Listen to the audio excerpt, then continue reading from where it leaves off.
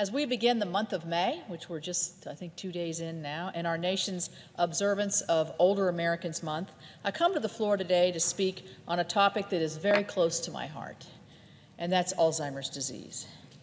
Like so many Americans, I have felt the impact of this disease. I lost both of my parents to Alzheimer's disease really pretty close at the same time.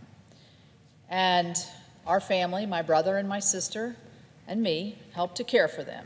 And I understand the difficulties that caregivers and families have as they're trying to figure out how to face this difficult challenge because this disease is devastating, especially to the patients and their loved ones. My father passed away in January of 2015, just one day after I was sworn in as a United States Senator. My mother, Shelley, passed away just a few months before him in September of 2014. There is not a book that has been written yet that can tell you what to do when a loved one is diagnosed because each case is different and there's no magic formula. But I feel strongly that we can do much more to help our caregivers, to ease the pain of those who suffer from this disease, and most importantly, to find a cure. The statistics surrounding Alzheimer's are staggering. Over 5 million Americans are living with the disease, and it's estimated that as many as 16 million will have the disease by 2050 if medical breakthroughs do not slow or, better yet, cure this disease. My home state of West Virginia, over 38,000 West Virginians are currently living with the disease, and these are just the ones that we know about. A lot of these cases go undiagnosed or they unreported. Across the country, nearly one in every three seniors who dies each year has Alzheimer's or another type of dementia. The cost of caring, and this is not the emotional cost, this is the actual dollar cost of caring for those with Alzheimer's and other dementia is also notable. An estimated $277 billion in 2018, increasing to $1.1 trillion by the year 2050. These numbers make it clear that we have very much work we need to do for those living with the disease, for those caring, and for the many who face a future diagnosis. Over the past few months, I've taken some first steps to address needs facing each of these groups. Fortunately, this is not a task I am working on alone. As I said, almost everybody's touched by this disease, and I have great bipartisan partners to work with. Last month, I joined Senators Stabenow, Wicker, and Menendez to introduce the CHANGE Act. This bipartisan legislation encourages early assessment and diagnosis of Alzheimer's. It seeks to utilize better the Welcome to Medicare initial exam and annual Medicare wellness visits to screen, detect, and diagnose Alzheimer's and related dementias in their earliest stages. It also establishes payment measures to incentivize detection, diagnosis, and discussion of appropriate care planning services, including the potential for clinical trial participation. Now, let's be honest here, a conversation along these lines on this topic is very difficult. Early assessment and diagnosis offer the important possibility to the patient to be able to be involved in decisions regarding their own care involve the people before they can no longer make that decision for themselves. I, I wish I'd I wish I'd been able to do that. I wish I'd I tried, but I wasn't able to kind of get that answer that I was hoping for. That's a goal that Senator Stabenow, Collins, Markey, Menendez, and I had when we championed the Hope for Alzheimer's Act back in the 114th Congress. And it's a goal we achieved in 2016 when the Centers for Medicaid and Medicare Services announced that Medicare would begin to pay for an individual care plan for newly diagnosed Alzheimer's patients, effectively Im implementing our legislation. This new benefit went into effect in the year 2017. It encourages doctors to give a clear diagnosis to patients with Alzheimer's disease. That includes information about treatment options and what medical and community services are available.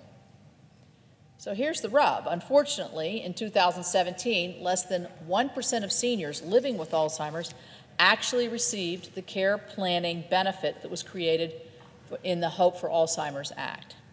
So our bipartisan team regathered, as I, as I mentioned. these are not easy conversations. They're not easy for family. They're not easy for medical professionals. And in late March, we introduced the Improving Hope Act. This bill would require the Department of Health and Human Services to conduct outreach to make sure that our healthcare providers are aware of this important benefit and to report back on rates of utilization and barriers that we need to know about. Hopefully, this will help ensure more Alzheimer's patients and their families actually receive this benefit, as well as the information it's intended to provide. It's also important to remember that while many living with Alzheimer's are in their later years, like my parents were, there are also more than 200,000 Americans under the age of 65 that are living with Alzheimer's. I've met several that are in the early stages. And it's, it's, it's a difficult uh, disease at any time. But for a younger person, it's tremendously sad. These individuals and their families also need access to support and services that most their age don't require don't need. To make sure they have access, I recently joined Senator Collins, Casey, and Jones to introduce the Younger Onset Alzheimer's Disease Act. This bill will amend the Older American Act to allow individuals under the age of 60 who are diagnosed with younger onset Alzheimer's disease to access its support programs. Under current law, only those over the age of 60 are eligible for Older American Act programs, leaving Americans with younger onset Alzheimer's without access to vital programs and services. The Younger Onset Alzheimer's Disease Act would address this disparity. And it would ensure that these individuals have access to things like nutritional services, supportive services, and respite care through the National Family Caregiver Support Program. Of course, it is also essential that while we continue working toward a cure, that we continue to work towards a cure for this heartbreaking disease. As a member of the Senate Appropriations Committee, I've worked with Labor, Health, and Human Services Subcommittee Chairman Blunt and others to provide resources for crucial Alzheimer's research. In fact, with the passage of the Labor H bill last year, we surpassed the $2 billion milestone when it comes to Alzheimer's research. That means that we're making sure that NIH has the funding it needs to continue its work and to help to support the work of others. I was recently very proud to welcome to West Virginia Dr. Marie Bernard. She's the Deputy Director of the National Institutes of Aging at NIH. She came to West Virginia University where we visited the Rockefeller Neurosciences Institute, which will be opening soon, actually in about 10 days, I think.